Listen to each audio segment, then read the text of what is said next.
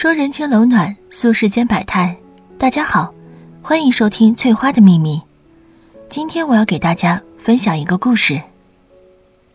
你结婚前所有财产都是你弟弟的，我不管你怎么去想这件事儿，你反正就要把房子过户给你弟弟，以后我们老了也不用你来养。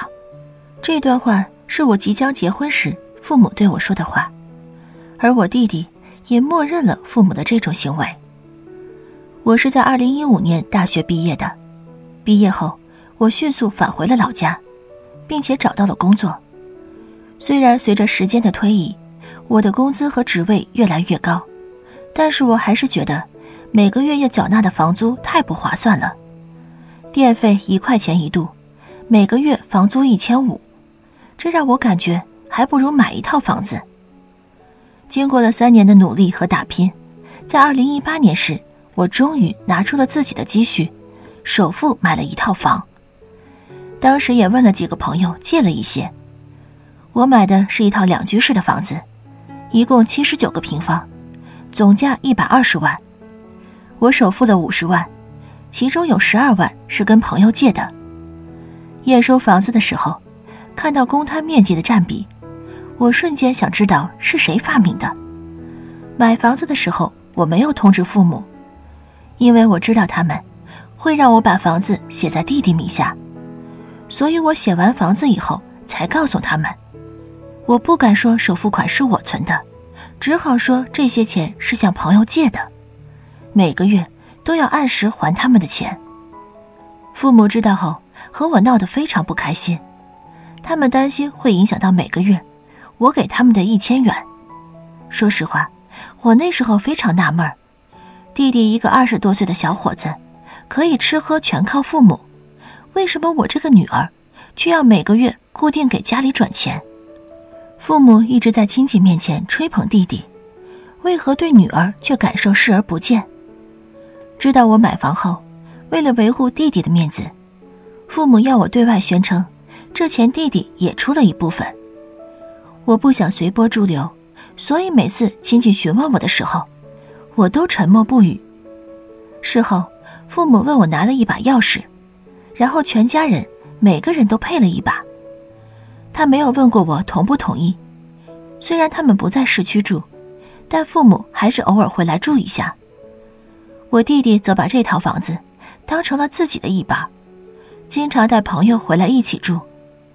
我因此说过他很多次，他才逐渐收敛了一些。后面我的父母。在市区找了一份工作后，我们一家四口就挤在这套两居室里面。我父母在客厅支了一张折叠睡床，他们没有出一分钱，也没有问过我欠了多少钱，他们就这样搬了过来。因为水电费都由我来承担，偶尔买菜的也是我要负责，所以每个月固定，我给父母的一千元就被取消了。可能是父母从小就偏袒弟弟。所以我和他们的关系也不算有多好，见面就打招呼之类的。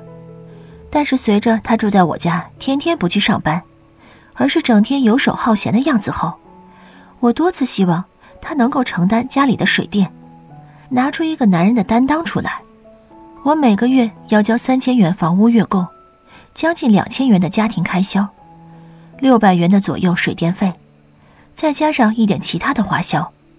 我工资基本上才刚好够用。刚开始，我弟弟还会告诉我，他会尽量努力帮我分担压力。但是随着父母站出来为他辩解，并和他说了一些悄悄话以后，弟弟就转变了自己的态度。至于母亲和他说了什么，我不得而知。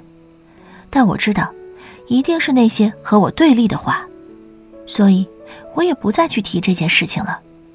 弟弟回老家相亲。竟说我名下的房子是弟弟买的，还带人过来看房子。二零二零年的时候，母亲托人在老家帮弟弟相亲，在遇到一个合适的对象后，父母和我带着弟弟回了老家。在相亲过程中，听到父母说，弟弟在市区买了一套房以后，我是完全没有反应过来的。当我明白过来后，我没有点破他们，毕竟是自己弟弟相亲。我怎么可能去破坏呢？事后我劝说母亲，不要去欺瞒人家。母亲回复我的话，随后引起我的警觉。我当时却没有想的这么长远。母亲当时说，等弟弟的女朋友过来，有地方住就可以了，先不用管这么多。后来弟弟和相亲对象开始谈起恋爱，我母亲毫不犹豫的给我弟弟买了一套十二万的车。买车的理由很不实际，他们担心弟弟被人看不起。弟弟比我小两岁，但他们出社会却比我早很多年，结婚这种事也是比我早。他那次相亲成功后，不到五个月，双方就开始谈婚论嫁了。彩礼和结婚的费用，父母早就给弟弟准备好了。父母虽然知道我的情况，但他们还是让我出了三万块钱。在订婚后。父母告诉我一件让我非常惊讶的事情，他们要我马上去相亲，然后马上搬到对象家去住，要不然我弟弟结婚后，我就要出去租房子住了。我母亲说这件事的时候，可能有点不好意思吧，所以说话一直含糊不清。还是我父亲如实的把这件事情告诉了我。我反应过来后，告诉我父母，这套房子住不下这么多人。希望弟弟能够赶快买一套属于自己的房子。属于这两个字，我刻意拉高了分贝。看到我这个态度，母亲一副苦口婆心的样子，劝说要让着弟弟，弟弟没房子怎么结婚之类的。然后，又希望我能够把房子过户给弟弟。不过，我父母并不懂这其中的道理，这套房子还属于按揭状态。房产登记都没有，怎么去过户呢？而且，我为什么要过户给弟弟？后来因为我不愿意搬走，父母和我发生了多次争吵。他们觉得我这种行为是在破坏弟弟的婚事，甚至还有亲戚跑来劝说我要识大体。我拿出了当初的购房合同，还有付款记录后，那些亲戚就不再开口了。女方父母听说结婚后要租房过日子，他们就不太愿意了。在我父亲多给了五万彩礼后，婚礼才如期进行，并且弟弟和弟媳也搬进了我这套房子。虽然之前闹得有点不开心，但我还是选择接纳他们。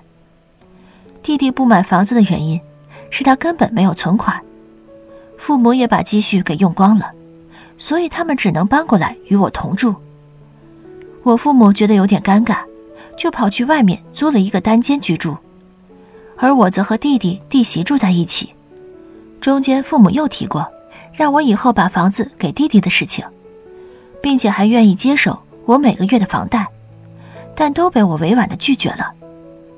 二零二零年十一月的时候，我接受了高中同学的追求，在一年后，我终于决定举办婚礼。由于我父母要的彩礼太高。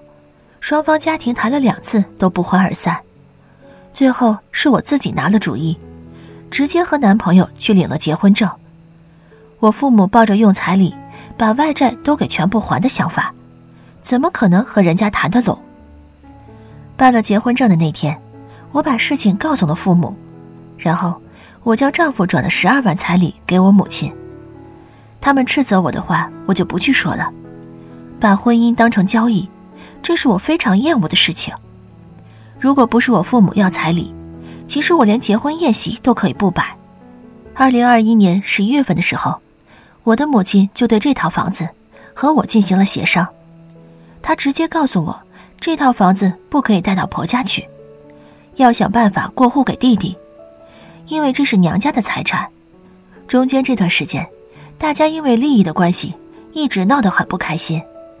我曾经想过结婚后，把这套房子留给弟弟住，但我又想到，如果要留给弟弟，不如直接过户给他好了。我做事比较不喜欢拖泥带水，所以直接表明我的立场，并期限二零二二年十二月份之前，弟弟要和弟媳自己找房子居住。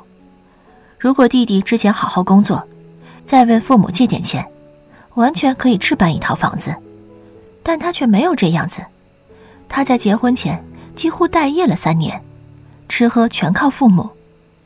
或许我做的做法有些不近人情，但我也没办法。